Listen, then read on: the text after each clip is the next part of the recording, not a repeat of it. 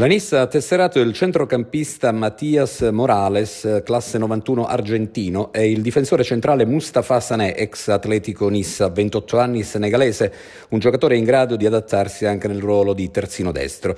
Il direttore sportivo Massimo Ferraro è al lavoro per completare l'organico, tra i prossimi obiettivi anche un attaccante. Intanto prosegue il dialogo a distanza tra la Nissa e l'ex presidente Arialdo Giammusso, che ieri ha diffuso un comunicato di risposta ai commenti riguardanti il post dell'attuale massimo responsabile Sergio Iacona, risalente alla scorsa settimana sulla pagina social biancoscudata. Facendo riferimento al lavoro fatto per riportare la Nissa ad essere una squadra rispettata in eccellenza, Giammusso ha annunciato che in settimana incontrerà Iacona per un chiarimento personale.